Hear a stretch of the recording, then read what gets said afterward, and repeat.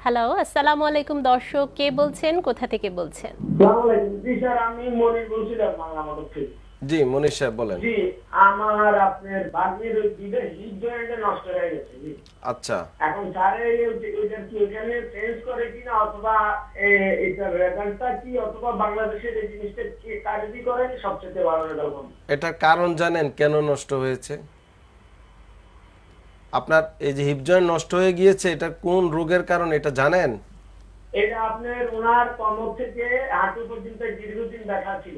আচ্ছা। বিভিন্ন ডাক্তার বিভিন্ন ওষুধ দিছে।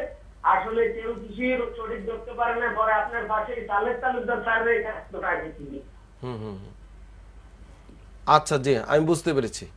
এ বিএন অনেক সময় আমরা বলি avascular necrosis of hip both hip প্রায় আমি রুগী আসে আমাদের কাছে এটা আসে।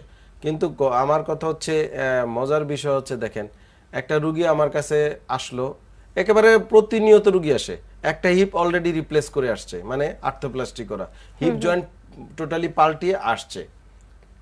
আরেকটা হিপ কিন্তু তার ভালো ছিল। তো এখন আসছে দ্বিতীয় হিপও আবার অপারেশন করতে হবে।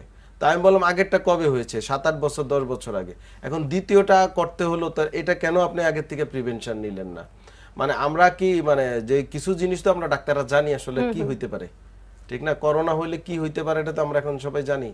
আমার এই জিবিএস রোগীর দেন কি হতে পারে সেটাও আমরা জানি। এটা তো আমাদের মানে রিসার্চ করা বই পুস্তকে থিওরি অলরেডি আছে। তো আমার একটা রোগী হিপ যখন আর তো ইয়ে হয়ে গেল মানে এফিএন হলো বা অ্যাভাসকুলার সেটা তো কারণ বার করতে হবে। কেন? এখন কারণ না বার- বার করি কেবল আমরা কেবল পাল্টাইলাম কয়েকদিন পর পর। এখন একটা মানুষের কি প্রতিটা জোড়া পাল্টে ফেলবেন? তো সেটা না করে আমাদের উচিত হচ্ছে অ্যাড্রেস করা যে রোগটা কেন হয়েছে আমরা কীভাবে এটাকে প্রিভেনশন করতে পারি? কারণ একটা মানে একটা হিপ নষ্ট হয়ে গেছে বাট আরেকটা যেটা ভালো আছে ওই সময় মনোযোগ দেওয়া দরকার ছিল। ভালো রাখতে পারি? ওই সময় যে আরেকটা হিপ যেন না হয়। শুধু হিপ না আমি অনেক রোগী পেয়েছি দুইটা হাঁটুও পাল্টাইতে হয়েছে।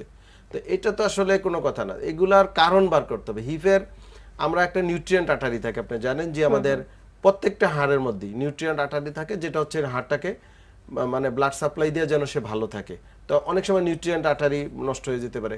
অনেক সময় এভিএন আমরা বলি হিপ এবং নি রিপ্লেসমেন্ট নিয়ে কথা বলব এবং এই মানে দর্শকের প্রশ্ন উত্তরটি আমরা সম্পন্ন করব। এর মধ্যে একজন দর্শক আমাদের সাথে সংযুক্ত আচ্ছা। হয়েছেন ফোনটি নিয়ে আসি। আচ্ছা। হ্যালো আসসালামু আলাইকুম দর্শক কে বলছেন? কোথা থেকে বলছেন? হ্যালো? হ্যালো আমি বেগম বলছি সাভার থেকে।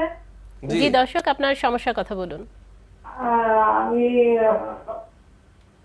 কোমরে ব্যথা হাঁটুতে ব্যথা অনেকদিন যাব। অনেকদিন যাব কোমরে ব্যথা। আছে দুই বছর যাব এখন পায়ের মধ্যে সমস্যা হচ্ছে।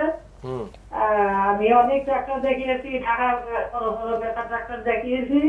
কিন্তু আমি কোনো ফল পাই নাই। নর্মাল এক্সরে করেছি। কোনো রূপ ধরা পড়ে নাই। আপনার বয়স কত? আমি দুই বছর হয় দুই বছর গত হইতেছে আমি সিআরপি ডাক্তার দেখাইছি। সাবার সিআরপি ডাক্তার দেখাইছি উনি আমাকে এমআরআই করাইতে দিয়েছিল।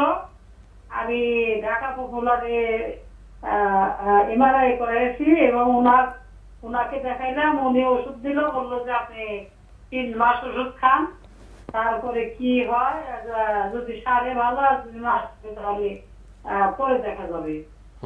কি অনেকগুলো ওষুধ দিয়েছিল পাওয়ারফুল ওষুধ আমি ওগুলো খাওয়ার পর থেকে আমার ব্যথা আরও বেড়ে গেছে। এখন এখন আপনার ব্যথাটা কোথায়? এবং ওনার উপরে বাসটা হারিয়ে ফেলছি। আহ, আগে আমি তো কোমরে ব্যথা ছিল আমি চলাফেরা ভালোই করতে পারতাম। হ্যাঁ হাঁটতে পারতাম বাজার ঘাট করতে পারতাম। কিন্তু এখন আমি নিজের ঘরে হাঁটতে পারি না। আচ্ছা। এই জন্য আমি শফিউল্লাহ স্যারের সাথে আমি টিভিতে ওনাকে দেখতেছি এই জন্য ওনার দিকে আমার মন টানতেছে যে ওনার সঙ্গে কথা বললে বা ওনার ট্রিটমেন্ট নিতে হয়তো আমি আল্লাহ পাক আমাকে ভালো করতে পারি। আচ্ছা বর্তমানে সমস্যা কি আপনার? বর্তমানে? বর্তমানে সমস্যা আমার কোমরে তো দেখা আছে মানে অল্প একটু জায়গায় আচ্ছা। অল্প একটু মানে বা কোমরের মেরুদণ্ডের পাশে বাম পাশে। আচ্ছা ব্যথা পায়ের ব্যথা কি পায়ের দিকে যায়? পায়ের দিকে যায়? না এই ব্যথা না লড়েও না ওখানেই আজীবন ব্যথা একদম। ওখানেই আছে। আপনার বয়স কত? অনেক দিন হয়। ব্যথাটা হইতে প্রায় চল্লিশ বছরের মতো হয়ে গেল। আপনার বয়স কত?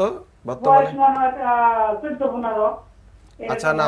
বর্তমানে আপনার বয়স কত? মনে হয় একটা কাঁটা ফুটলো এরকম একটা অনুভব হতো। অনেক চিকিৎসা নিচ্ছি অনেক মানে ডাক্তার কবিরাজ অনেক রকম চিকিৎসা নিচ্ছি কিন্তু কোনো আচ্ছা ইনশাল্লাহ আমি উত্তর দিচ্ছি যে আমি বুঝতে পেরেছি। দর্শকের আহ, বয়স পঞ্চান্ন বছর। পঞ্চান্ন আচ্ছা ঠিক আছে। এই রোগীর উত্তর দেওয়ার আগের যে এভিএন নিয়ে যে কোটা উনি হিপের যে ব্যাপারটা উনি জানতে চেয়েছে। তো আমাদের কথা হচ্ছে আমরা যদি একটা হিপ কোনো কারণে নষ্ট হলো আর একটা হিপ কিন্তু ভালো ছিল। তখনই কিন্তু মনোযোগ দেওয়া কেন? এই মানে ডিউ টু এভিএন মানে কি কারণে এভিএনটা হলো? এই কারণ যদি নির্ণয় না করা হয় তাহলে দুই দিন পর পর একটা একটা জোড়া কেবল নষ্ট হতে থাকবে মোস্ট অফ দ্য কেস আমরা দেখছি যে বিভিন্ন আর্থ্রাইটিস জনিত সমস্যা থেকে এটা হয়ে থাকে। তো আর্থ্রাইটিসগুলা হচ্ছে যেহেতু আর্থ্রাইটিস মানে মাল্টিপল জয়েন্ট ইনভলভমেন্ট হয় বেশিরভাগ ক্ষেত্রে। তো আগে থেকে যদি আমরা পুনর্বাসন চিকিৎসা শুরু করতে পারি আর্থ্রাইটিসের আরও স্পেসিফিক চিকিৎসা দেওয়া যেতে পারে, তাহলে কিন্তু অপারেশনের প্রয়োজন হয় না অনেক ক্ষেত্রে। তো আপনার যেটা সমস্যা, দুইটা হিপ কোথায় যাবেন বা কি করবেন, যদি এটা হয় একেবারেই টোটালি ড্যাস্ট্র হয়ে গিয়েছে, আর কোনোভাবেই কনজারভেটিভ চিকিৎসা বা থেরাপি চিকিৎসা ভালো হবে না, সেটা রুগী না দেখে বোঝা যাবে না। বা এক্স রে ফিল্ম বা ব্লাডের রিপোর্ট দেখে তারপরে অ্যাসেস করে বলতে হবে।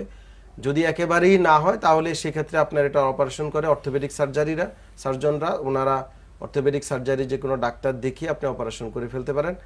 আর যদি কনজারভেটিভ চিকিৎসা আপনার দরকার হয়, সেই ক্ষেত্রে হয়তো আপনাকে ফিজিওথেরাপি চিকিৎসককে দেখাতে হবে।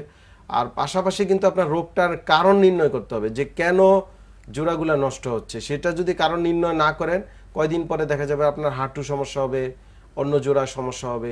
তো সেই দিকে আগে মনোযোগ দেওয়া দরকার। এবং পাশাপাশি এটা চিকিৎসা। আর এখন যে রুগী বলল যে ওনার একটা স্পেসিফিক পয়েন্টে পেইন অনেক বছর চোদ্দ বছর ধরে ওনার ভাষায় চোদ্দ বছর বয়স থেকে ওনার শুরু হয়েছে এই সমস্যাটা।